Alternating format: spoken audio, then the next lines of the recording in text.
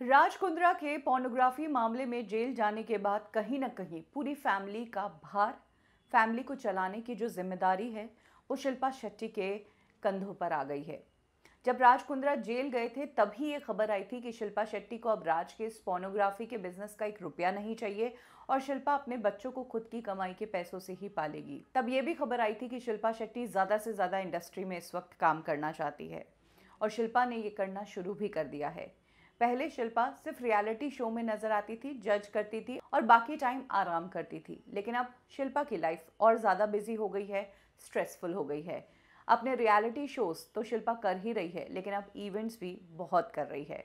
हाल ही में शिल्पा शेट्टी को सलमान खान के साथ रियाद में दबंग टूर पर देखा गया था, जहाँ पर उन्होंने परफॉर्म किया था और ज़ाहिर सी बात है, एक दिन की परफॉर्मेंस के लिए शिल्पा ने लाखों लिए थे। और अब शिल्पा शेट्टी एक बार फिर से सलमान खान के साथ एक इवेंट एक्चुअली इवेंट तो नहीं, ये एक बिग फैट वेडिंग थी, जहाँ पर शिरकत की और स्टेज पर डांस करती नज़र आई।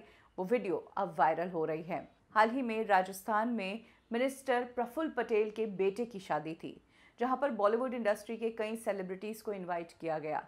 जिसमें सलमान खान, अनिल कपूर और शिल्पा शेट्टी का नाम शामिल है। इन्हें कल एयरपोर्ट पर स्पॉट भी किया गया। प्राइवेट एयरपोर्ट पर शिल्पा शेट्टी एक ट्रेडिशनल अटायर में नज़र आई थी। और अब जयपुर में वेडिंग से कुछ वीडियोस वायरल हुई है, जिसमें शिल्पा शेट्टी, सलमान खान और अनिल कपूर सलमान की फ़िल्म के गाने पर डांस करते नज़र आ रहे हैं और सिग्नेचर स्टेप कर रहे हैं। जुम्मे की रात है, ये वाला गाना चलाया गया था और तब सलमान ने डांस किया था।